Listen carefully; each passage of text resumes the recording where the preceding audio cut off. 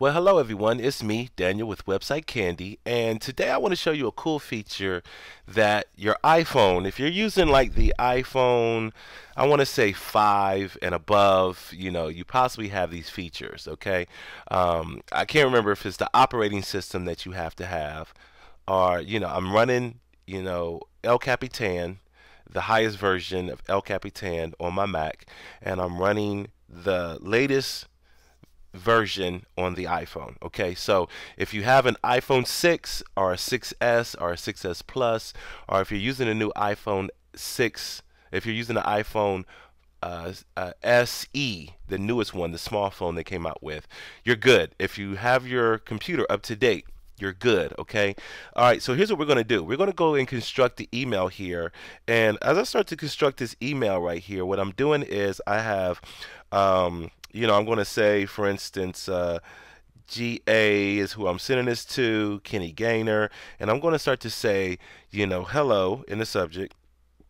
Okay, and I'm going to start to type over here, good day, mate. Okay, now I started this on my phone and I still have my phone up and let's say I'm in the kitchen and I'm away from my computer. Right down here on my computer I have an icon that says mail for iPhone. If I click this right here and I have the mail application running right here on my computer, I can click that and you're going to see that it's going to leave my phone. You've seen it leave my phone and right here on the mail application you can see that uh, what I said to Kenny, hello, good day mate so far, you know, and then I'm going to continue from here. So what I'm going to do is I'm going to lock my phone okay? And my phone is locked and it's sitting on the side there and I'm going to type some more. How are you doing? Sorry I'm a slow typer. And I'm going to do a question mark there. Now what I'm going to do is I'm going to hit my phone and I'm just hitting the home key. Right down here you're going to see that little uh, mail button right there. So I'm pushing up from the mail button and I'm unlocking my phone with my you know finger there and you see that the phone message left here and it went over here with everything that I was already saying so far as far as how are you doing. So you can kind of toggle back and forth and you can go back and forth in regards to you know the continuity that the Apple computer an updated Apple computer and an updated iPhone 6s or iPhone 6 or I do believe any of iPhone 5 if you have an iPhone 5 and greater you're safe with this.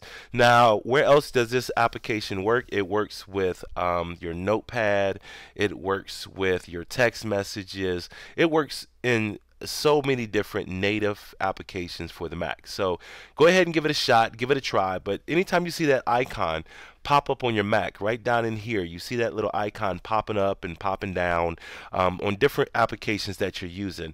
I'm an Apple Watch user, so sometimes I get the little icon to pop up on my Mac for the Apple Watch as well. So if you see that little icon, just click it and explore and see what you can do with it. So hopefully I hope you guys understand some of the continuity between your iPhone, your Mac, your Apple Watch, and your iPad. This also works with the iPad. So give it a shot. Let me know how it works out for you.